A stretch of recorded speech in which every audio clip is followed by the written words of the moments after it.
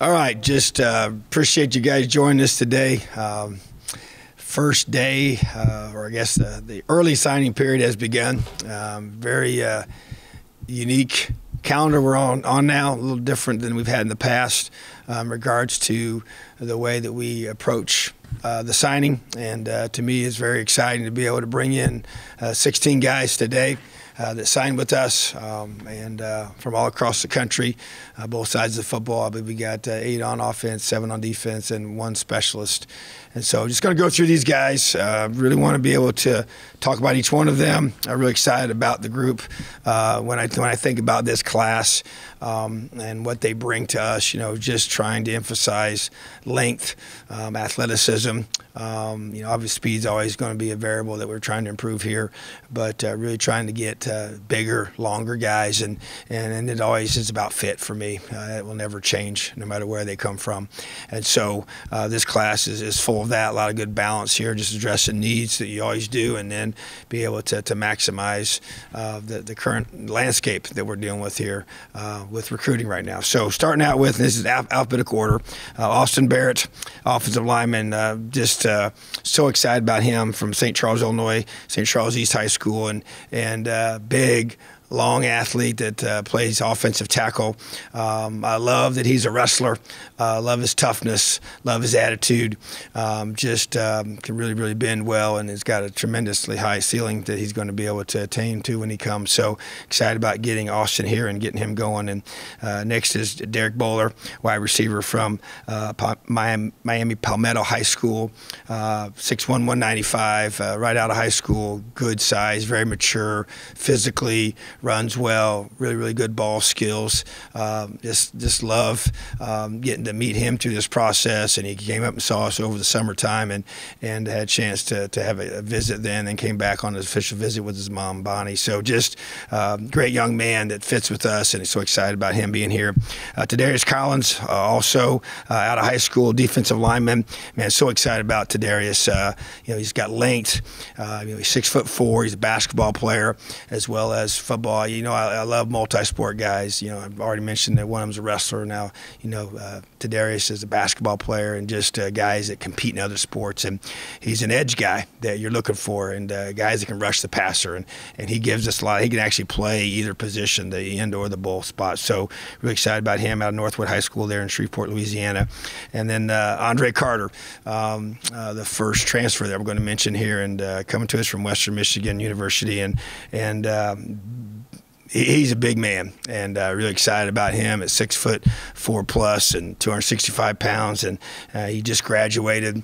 Um, he's not just you know physically a big man; he's he's mature and and he's just uh, done so many great things for them there, and and uh, the the job that uh, those coaches did at that program, especially on defense, was impressive, and their defensive line was impressive, and and to get a chance to get him to come here and opportunity to play in the Big Ten. So just uh, love Andre. got a chance to get to know his mother. Just just uh, the relationship that they have is really special, and just excited about bringing him here. And he'll be in here mid-year and uh, have a chance to truly uh, to dive right into this and get a chance to really uh, uh, plug in and, and, and, and, earn a spot. You know, he knows that, and that's what this is all about for everybody that we brought in. But just excited about the maturity he brings to us and, and the opportunity to be able to elevate his game and play in the Big Ten and, and to be able to to reach his goals. And so excited to have Andre with us.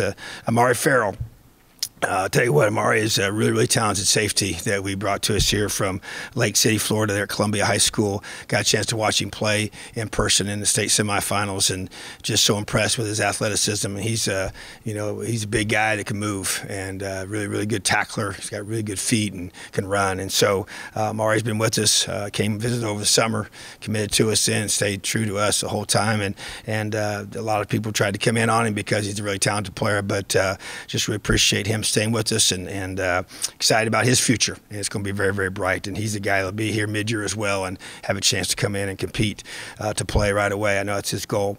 Orlando Greenlow, big old athlete. He's listed as a wide receiver, six foot five, 210 pounds, but uh, I put him as an athlete. You know, he's out of California, uh, Lawndale, California, and uh, just um, can play receiver, uh, can rush the quarterback, could be a tight end. not totally sure he knows that. We've talked about that, but you find long athletes that can run, and uh, fits with us. Came with his mom over the summer and just uh, fell in love with him and his attitude. And uh, you know, he's one that when the Big Ten kind of moved out west there and included USC and UCLA, that uh, adding them allowed us to really expand a little bit out there. And he was a beneficiary of that. And excited to have Orlando with us as a part of our, our program now. And then Tyler Jeffries, uh, known as Bubba, and uh, man, what a tough guy. Love him. Love his mindset. Loves the work plays mean and nasty. Uh, big guy. Alcoa, Tennessee. All they do is win. He's won like eight or nine straight state championships in, in a row, which is unbelievable. And uh, just love his family. Uh, guy that we really um, just as, as, a program, you know, fell in love with all of them because they just uh, they love what we're all about. Uh, love football. Uh, he's going to come in here and work and train and, and embrace everything about this program and, and make us better. So really excited about having Bubba with us on the offensive line. Uh, also, Jamier Johnson, another transfer that we got from University of Texas as a DB, uh, lost some DBs to graduation this year and uh, uh, the NFL, and so uh, really important to be able to get some older guys in here and gives us great length and athleticism to come to us here. And he's another California high school player that come come via the transfer situation, and so got a chance to spend time with him, get to know him here, and and bring him into the fold. So excited about him, and his parents came with him on his visit, and and the mom and dad uh, really fell in love with our culture and our environment he's going to be in, and excited about uh, developing him here and helping us you know, do great things defensively here with him in, in, in the secondary. Uh, Jamison Kelly, uh, another safety uh, coming to us from uh, Columbia, Mississippi, went to Jones Community College. man, I tell you what, what a physical football player. love how he can run and tackle. he's got great length, you know, six one plus, close to 6'2", 205, 10 pounds, and and just bringing a guy that has he's a guy we recruited out of high school, and uh, to be able to uh, continue to, to stay recruiting him and, and get to know him and got a lot of connections down there. So just really love Jamison's attitude, man. He loves loves football loves to practice, loves to train, loves to work, and uh, brings that physical mindset to, to everything he does. And I'm really excited about bringing Jamison here and expect him to come in here and compete uh, this this spring. He'll be here. Jamier, uh, as well as Jamison, will be here uh, mid year. Uh, also, Will Larkins big offensive lineman. The third one we've already mentioned is out of high school O line. You know, big six foot four, 300 pounds. Played uh, very, very high school football down there in Hollywood, Florida. Chaminade Madonna Prep is where he's been going to school here and playing a lot of football. Won another state championship, won multiple ones at that great program there with Coach Jones, and and just uh, going to come up here and develop. He'll be here mid year as well, and just a chance to come up here and compete in our program. He's been here a couple different times. Came once as an official visit, then came up here on his own. Uh, just to be able to uh, continue to be around our players and be with our program and uh, just love his passion for Indiana football and his passion for what we're building here and the culture we've created. So really excited to get Will up here and he'll be up here in a few weeks, getting ready to get in that weight room and get stronger. Uh, Max Longman, uh, another transfer that we added here uh, today that I'm just so so excited about Max and getting to know his mom when she came on his visit and and uh, just a guy that fits with us. You know, tough, hard nosed, coming from from University of Massachusetts Massachusetts and been a starter there for the last several years, and, and just brings that maturity and that, that experience and that the, the, the grown man strength and ability to, to come in here and play. And so, uh, just really excited about him. And I just the more time I spent with him, even even as of you know recent as, as last night, talking to him and and continuing to get to know him and just really um, knowing how much uh, he's uh, really really fits here and it's been a, a dream to be able to play in, in the Big Ten. So Midwest guy from from Michigan originally originally, and uh, just excited about Max and what he's going to bring to our program. Uh, also, Brock, Brock Lowry uh, is a quarterback of this class, and uh, coming out of high school, I tell you what a, what a career! Just led his team to a state championship, uh, you know, there in Canfield, Ohio, um, and just a tough hard-nosed competitor, and that's how I would best describe uh, Brock. He's going to be mid-year, so he'll be here in a couple weeks. Uh, but just he's just a winner, you know, and uh, plays the game with a with a chip on his shoulder, runs the football, throws the football. Uh, really, pretty much ran for 2000, threw for 2000, um, and even in the state championship game, you know, threw a touchdown pass, a couple of those, ran for a few, you know, caught one, you know, just uh, plays defense, plays safety, makes tackles. Uh, matter of fact, that's what really caught my eye. I joked with him about it when we first started recruiting. Was I, I loved his defensive film. You know, just he was coming down and smoking folks, and and uh, just loves to hit, and just has that uh, has that tough mentality to him that he's going to bring, and uh, uh, just really uh, love his family. They came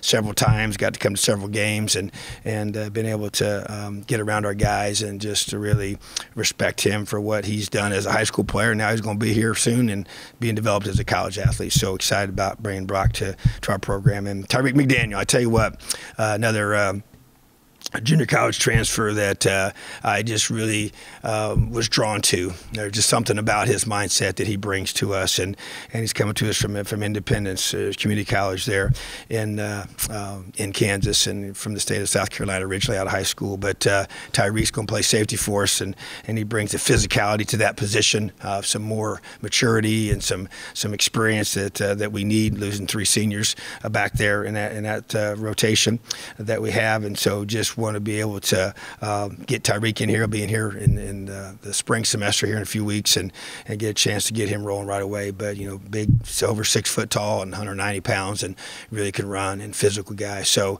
but just a tremendous uh, drive, uh, passion to be able to play uh, in the Big Ten Conference and be able to, to show and prove uh, who, who he is as a player and as a man. And, and I'm excited, excited about that. I love just hearing his story and getting to know him and, and having his dad here with us and just being able to connect with them and just kind of see, you know, his heart and what he wants to do when he comes here, you know. So just expect him to come here and, and compete, to get on that field right away and, and make a difference on our team defensively.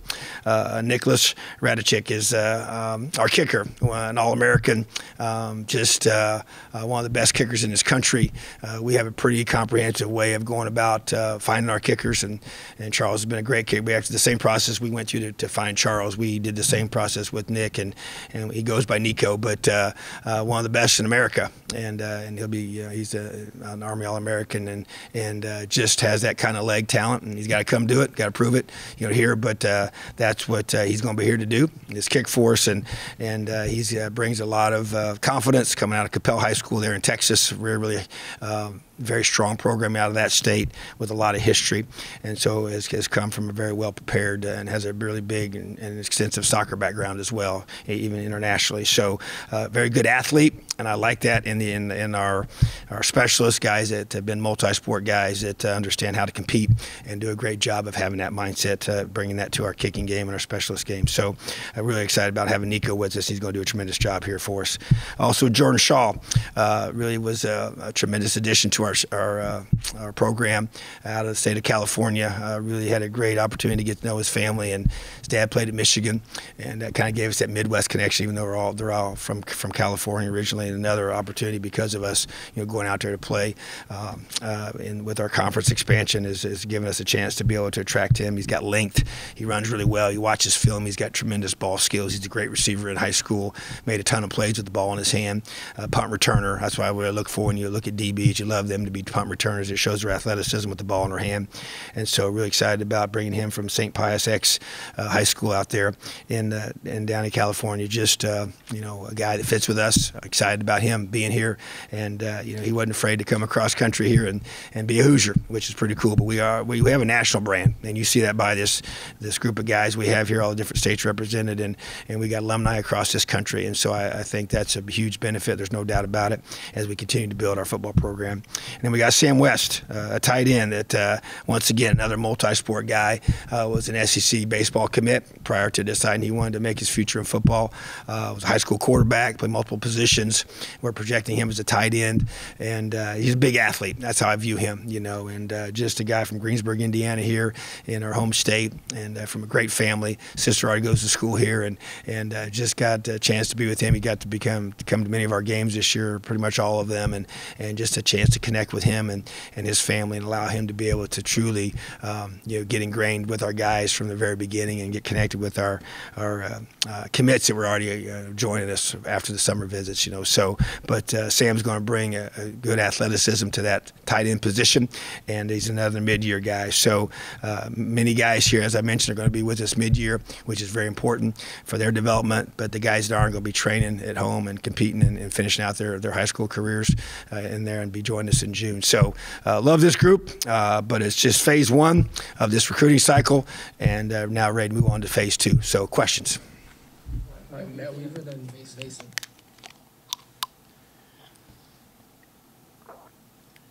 Hey, Coach, how you doing?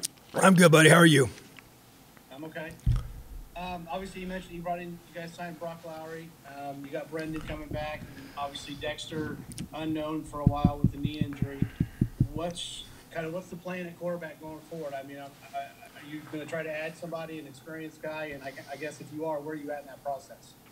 Yeah, so uh, in regards to Dexter, you know, he had surgery and very successful surgery, and he's now in the rehab process. So really, uh, you know, prayers for that, and he's working really hard to get himself get himself back uh, to full health.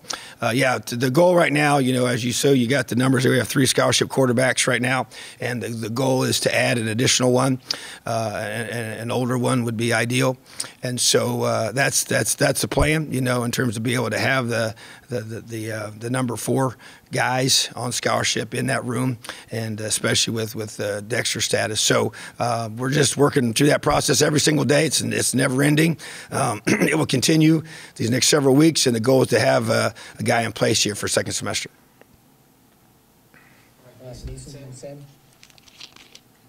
Coach, you kind of mentioned there that this is really the first time we've got to speak to you since the end of the season, and you made a big, significant change to your coaching staff by adding Bob Bostad. I'm curious on the selection process and, and how you went about hiring and, and, deciding that he was the right man for the job. Yeah, I tell you what, uh, so excited to have Bob join our staff. Coach Bostad is uh, unbelievably um, highly regarded offensive line coach in this country. Um, many would say he's the best O line coach in the country. I would have to tend to agree with that. Uh, the short time we've been around each other, uh, just a great ball coach, been at the highest level, coaching the NFL on the offensive line for several years produced many All Americans uh, at, uh, at, Wisconsin, and uh, a place that's kind of become you know an O line factory for, for many many years. So that's uh, he's a big part of all that. So just really uh, that's what kind of drew me to him. Big Ten guy, Midwest guy from the state of Wisconsin, understands the conference, understands how to recruit, has recruited Indianapolis area uh, for a long time. That's kind of how we met uh, was in that recruiting process, crossing paths there, uh, but just kind of just from some some common, uh, you know, acquaintances that knew knew each other. And so when we had this position, and obviously we knew, you know, as the change was made during the season, and and uh, Coach um, Carey took over uh, for in, on an interim basis, we knew we were going to have to be able to find someone. So as some things kind of unfolded there, it allowed us to get Coach Bostad here with us pretty efficiently. The goal was to get him here and get to head out to recruit, and we were probably uh, pretty close to getting him right. You know, as, as, as, soon as that happened, I think it was a couple days that uh, he wasn't uh, able to go out yet uh, and recruit. We, we had to send out another coach in his place. But uh, so being able to have him, he was available for us, and, and the situation there at Wisconsin. So bottom line is, it found I feel like the very very best person for the job, and so excited about having him here and the job that he's already doing with our guys in regards to recruiting and evaluation. And then I know on when I had a chance to tell our recruits uh, that we had hired him, they were man, they were so fired up. Uh, they know the track record and the history that he's uh, been able to produce everywhere he's been. So, uh, really excited to have him, and uh, anxious to be able to get uh, back in the office once we get on the get off the road and start talk, talking some ball with him. Sam Sammy the mic. Uh, good afternoon, Coach. How are you doing? I'm great, buddy. How are you? I'm doing excellent. Um, you, you talked about phase one being finished. You're moving into phase two. What does that look like? What positions are you targeting? Is it you know, transfers, the JUCO level, high school level? What is phase two in your mind? Well, I would say there's, you know, um, breaking it down. This is this is kind of new in a lot of ways. A little bit last year, yes, but not to this degree, um, because the way the calendar was structured.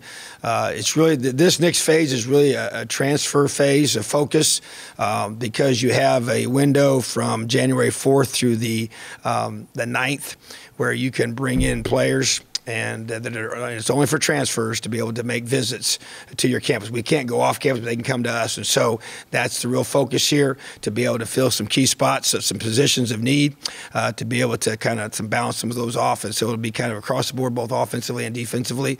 And uh, and then after that phase is done, phase three to me is back out recruiting again. And I and I can see us adding some more high school players. And and I think with the way that things have kind of evolved, uh, you definitely have, um, you know, with there's still two classes of guys that have COVID years left that are still out there in, in circulation, and that that keeps these spots continue to be able to be you know used up in, in some ways, and it's it's kind of uh, allowed some high school guys that maybe would have already been signed and been somewhere else uh, still be available, and so uh, definitely aware of that, and so that would be probably phase three as well. So and then you just got some guys that maybe uh, won't be done or be out until the end of the semester, and they'll be here in the summertime. So the next focus is be able to get the guys that uh, will be available to uh, come visit in early January to be able to be enrolled by by the second semester.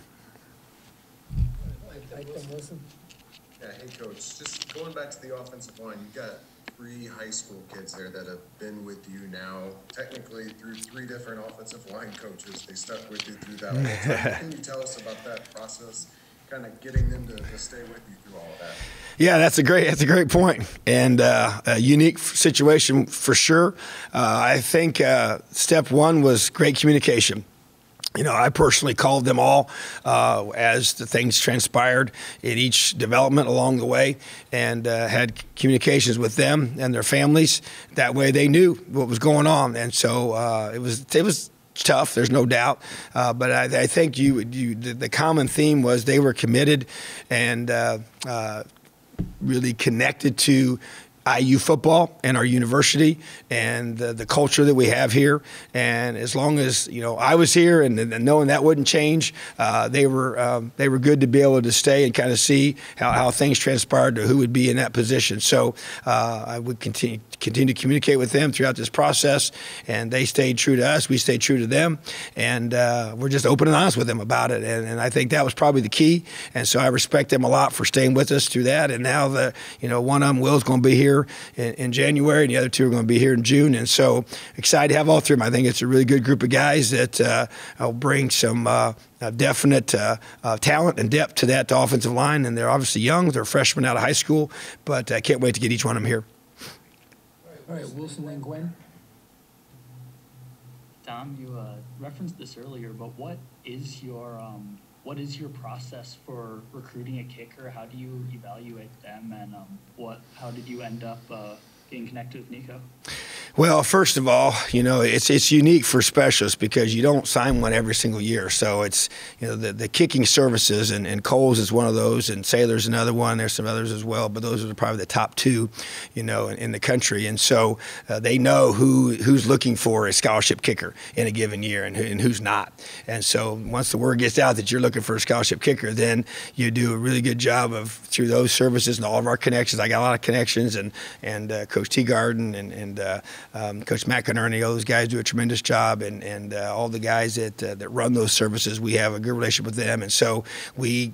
They know that we have that, so we bring them and we have camps and we have them come, we kick for us. And so we have a systematic way of doing that, bringing them here. We have a whole evaluation process we go through once we get them here. So it's, first of all, it's identifying, you know, who you want to invite bring all the best kickers in America to our campus, and I want to see them kick. And we video everything and go through everything and have it all done the way it's supposed to be. And it's pretty lengthy, and then we go through and we just narrow it down from there. And then you kind of say, okay, this is, you know, you kind of rank them, and then you start going through and trying. Then you got to try and convince them to come and start recruiting them. So it's a it's a very very lengthy process that you go through, and then uh, you know Nico's the guy that, that came and kicked for us, and then you kind of go through and you you just continue to evaluate. We watched all these different competitions he was involved in, and several kickers as well, and try to see how they handle pressure and how they're able to respond to adversity. And, and they started going to these camps, you know, they got they go they go they kick quite a bit for you, and then they got to go to another camp and then kick some more and then kick some more. And so you just try and see who's the most consistent, who can handle the the the, the, the difficulties of that situation, the pressures that that puts on them. Because at the end of the day, they got to be able to kick in front of you know thousands of people when it counts the most. So uh, it's a pretty, uh, I would say, thorough process we go through. Feel really good about it, and we think we got our guy.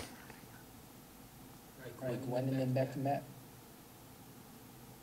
Hi, Coach. Hope you're doing well. I'm great. How are you? Um, good. I, my question was pretty much already answered before, but I'm trying to think of, as this group of 16 people, how would you describe, like, what makes you so excited about these about these guys? What is the mentality? Well, you know that they fit with us, and they they're excited about being here, and they they got. Uh, a chip on their shoulder, something to prove kind of guys, you know, guys that, that uh, you know, you go through and you really try to find who, you know, is, is that got the talent to play in this conference. But there's so much more to it than just that. It's the guys that are going to come here and, and do little things the right way. And, and yeah, there's no doubt they're all going to have to grow and mature as, as all, you know, guys do when they come out of high school. But, uh, you know, just the ones that want uh, the things that we want for them and, and care about school and, and want to do, you know, things the right way are going to be, you know, on time to everything and showing up to workouts with a, the right mindset and just able to work through tough times and things don't go your way. And, and, and I feel like we got a lot of guys that really fit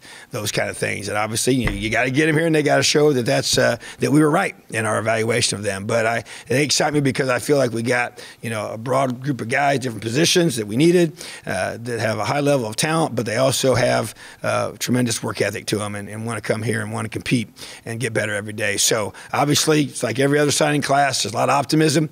You know, not anybody I don't think ever stands up here and says that they, they don't like their class, but at the same time, they got to prove that we're right. And they got to prove that we made the right evaluation and that they were the right guys to come here and, and, and want to be able to help us continue to build our program. Matt Mason? Hey, Coach. Um, ever since they switched to the uh, this early signing day, however many years ago, usually the majority of the class is wrapped up at this time. There's sometimes a few spots.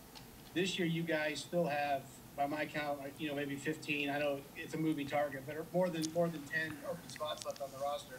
Is that just the norm going forward, or you know, because of with the portal and all the basically free agency that's going on, or, or is this a one-year blip? I mean, it seems like it might be the norm. I was just curious your thoughts on that. If you're going to have to recruit almost as many guys after the signing date as you did before. Yeah, I, there's no question. Uh, I think I. Uh, was one that mentioned that you know a couple years ago that not knowing this was going to happen, um, that I felt like that we'd have the majority of our class in place, you know, after the first signing, and uh, but with now with the new rules with the portal and when it when it you know they couldn't go in until that Monday uh, that we were out recruiting, which created a flood of just um, that was a crazy several days now for everybody trying to evaluate and figure things out. So uh, yeah, I don't think that's going to change. So if this structure continues and the, the calendar stays the way it is, I think you're going to continue to see. Uh, this progression where you have a good chunk of them signed right away, but not near as many as before, and you're going to have another, you know, 10 to 12 or whatever left, you know, in regards to both transfers and even a few high school guys. There, they definitely will be some more high school, I think, and you know, filling some of these spots. So, uh, but yeah, I just think there's just. Uh, you know, the calendar's different. You know, a lot of guys couldn't even make visits, so that's why they now have those those days in January, which we never used to have before, where transfers can take visits. When that's going to be last year, I think we had one or two. This year, I can see us having a whole bunch. You know, so that's a whole new area now to expand to. And then the, the February is going to be way more involved in trying to find guys that maybe they got uh, you know didn't get seen or evaluated properly the first time, and you have a chance to find those and and continue to to look for guys that fit your needs. And so, yeah, I think you're going to see this being the norm moving forward. Could be wrong, but that would be my guess based on what I see and how I see it playing out. Every year probably a little different, but numerically. But I think there's definitely going to be more in the, the, the second signing than we've seen in, in the past couple years. Mason, and then we'll wrap up with Mike. Coach, I'm, I'm curious, you mentioned earlier how in this recruiting class, you really wanted to emphasize length, athleticism, and just overall get bigger and stronger guys. And then also going back to the end of last season, you were talking about with a quarterback prospect, you really like the idea of having a dual threat guy who can both run it with his own legs and then make plays through the air. Uh, when you look at the 2023 team that you're building, what's different about it versus the 2022 team in an ideal world? Well, I, I, think you know, for me, uh, you just continue to you, you got to have depth. You know, to me, I want to have more depth on the offensive line. I want to have more depth on the defensive line. You know, and, and be able to withstand. We've had injuries these last couple of years, unfortunately, and some key guys, and and it's hurt us. You know, and so to be able to have that, that's a huge part. Uh, but but I, I, think you know, I, I, do. We have tried to emphasize the length piece, um, and and that to me, I want to I want a, a big physical football team. You know, that's able to to play the, the, the style we know we got to play, and then also be able to play with tremendous speed. You know, so that's that, that the speed part never goes away. You know, I want to be able to have that ability to run the football on defense and, and, and make plays and, and, and recruit that speed on offense and continue to, to do a great job being dynamic. We just got to be more dynamic on offense. We know that we got to create more explosive plays. You don't have to drive the length of the field with so many different snaps involved, but uh, and then eliminate those big plays on defense. So to me, that's what I want to be able to do. Is you know, we got to get better on both sides of football.